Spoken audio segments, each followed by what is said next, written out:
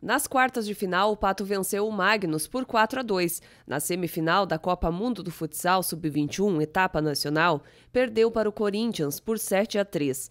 No domingo, entrou em quadra para brigar pela vaga na fase mundial da Copa Mundo do Futsal. O jogo foi contra o Carlos Barbosa.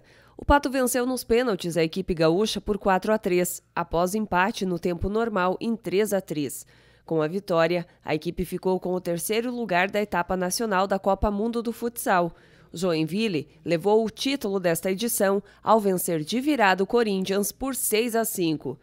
Todos os jogos da Copa aconteceram no ginásio da Unigran, em Dourados, Mato Grosso do Sul. A fase mundial acontecerá em Paranaguá de 10 a 15 de maio. A competição terá 12 equipes, entre elas Pato Futsal, Joinville e Corinthians.